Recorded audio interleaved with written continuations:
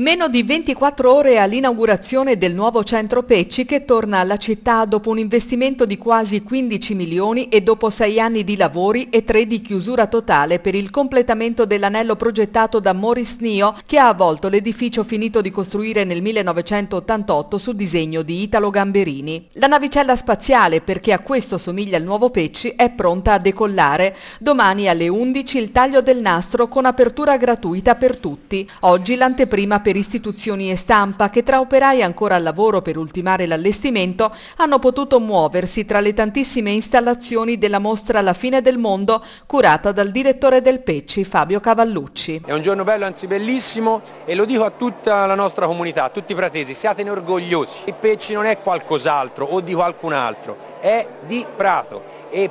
parla di Prato, ovviamente è qui, ma parla la regione toscana sicuramente, all'Italia intera, ma deve essere internazionale, esattamente come siamo stati noi nel corso del tempo, intraprendenti, capaci di dialogare con tutto il mondo, capaci di farsi raccontare spesso in maniera grandemente positiva. Ecco, siatene orgogliosi, consideratelo vostro, consideriamolo di nostro, della nostra comunità, qui deve essere il luogo in cui la contemporaneità, che ci è arrivata in casa senza bussare, e ci ha portato problemi, ci ha portato opportunità, temi aperti, questioni da risolvere, qui trova la declinazione dell'arte. Uno spettro di interessi molto ampio che davvero nelle intenzioni dei promotori Comune di Prato e Regione Toscana vuole fare del nuovo centro Pecci un polo che vada oltre i confini regionali. È un museo ma non è solo un museo, è un luogo in cui trovarsi, dialogare, discutere, vedere film, presentare libri, parlare di cultura, cenare, eh, andare al bistrò, vedere degli eventi. Questo deve diventare il Museo Pecci e per questo io dico a partire dalla nostra comunità